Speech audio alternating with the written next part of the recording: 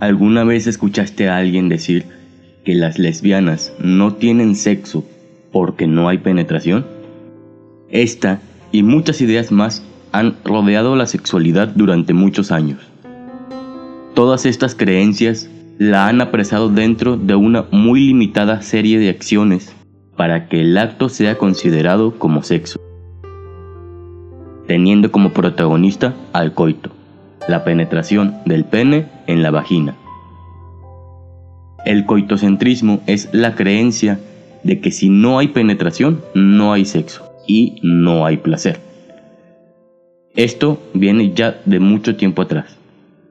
Anteriormente, debido a la sociedad, entre otros factores, el fin único de las relaciones sexuales debía ser reproductivo.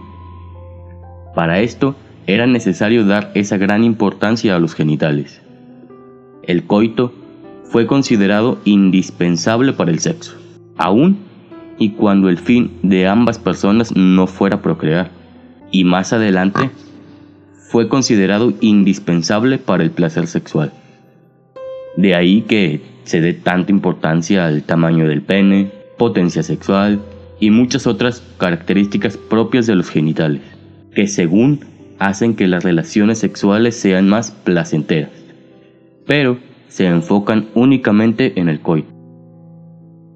Pero todo esto está muy alejado de la realidad.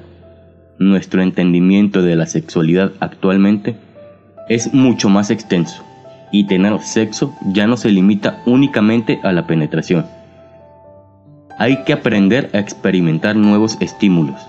Hay que entender que el acto sexual no es únicamente el coito, sino el conjunto de todas esas caricias, apretones, chupetones, besos, palabras, sexo oral y demás prácticas a las que la mayoría de las personas consideran como preliminares, como preparar el camino para el plato fuerte, que es el coito. Cuando realmente no aprendes a disfrutar del banquete completo.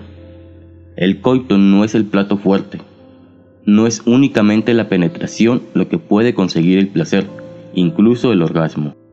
No es más importante que todo lo que te pasas de largo o que no aprovechas y exploras bien. Hay que aprender a ver todo nuestro cuerpo, toda nuestra piel, como un órgano sexual, con el cual podemos descubrir nuevas sensaciones, más allá de la penetración. No se trata de que no involucres a los genitales, se trata de que no te vayas directo a ellos, como si fuera lo único que valiera la pena probar. Hay muchas prácticas que puedes investigar para aprender a disfrutar más tus relaciones sexuales, como el slow sex, el cual pretende enseñarnos una nueva forma de encontrar el placer con nuestra pareja. La idea es duplicar o triplicar el tiempo que dura tu acto sexual normalmente retrasar la eyaculación y el orgasmo para aprovechar al máximo todas las sensaciones que podemos experimentar con los preliminares. Puedes explorar todo lo que a ambos les guste, jugar con los sentidos como vendando los ojos o sujetando las manos o una simple charla subidita de tono y todo lo que se nos ocurre. El límite será nuestra imaginación. Lo importante es descubrir nuevas formas de ver la sexualidad y disfrutar del sexo y del amor de una manera más intensa, entera, abierta y libre.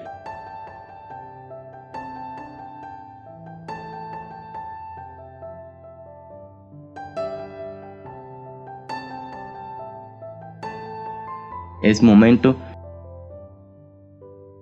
de romper con todos los paradigmas que giran en torno a la sexualidad desde hace ya tanto tiempo.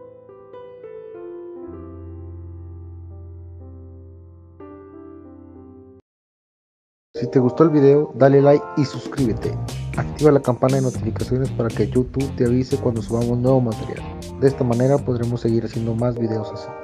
Deja tus opiniones en la caja de comentarios, nos gustaría leerte. O escríbenos a nuestras redes sociales en Facebook o al correo ciscool11.gmail.com. Gracias.